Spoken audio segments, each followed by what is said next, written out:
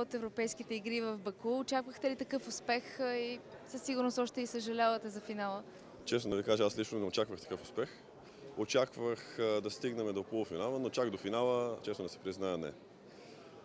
Успехът наистина е много голям не само за нас, но и за цяла България. Успяхме да зарадваме много хора. И изпитахме едно лично удовлетворение, което ще се помни дълги години.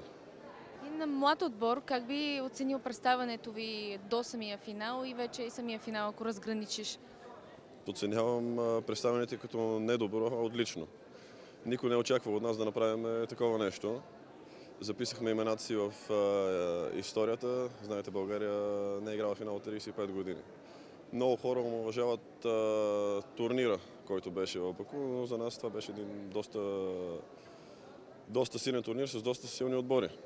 И се радвам, че успяхме да покажем истинската си игра. Кой беше моментът, който ви вдъхна всъщност силите и увереността за нещо повече? Ами Аз лично, като играхме матч с Италия, си помислих, че повече няма да има такъв емоционален матч. Но всеки следващ ставаше по-емоционален и по-емоционален. Може би до някъде и матч с Русия, който спечелихме с 3 на 1. Там ни дъхна криле и вече матч с Польша няма как да го коментирам, защото трябва да се, да се усети. С думи не може да се опише. Беше нещо уникално.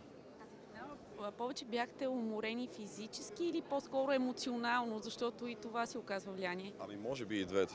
Може би физически, емоционално и тръгнахме малко пренавити, напрегнати.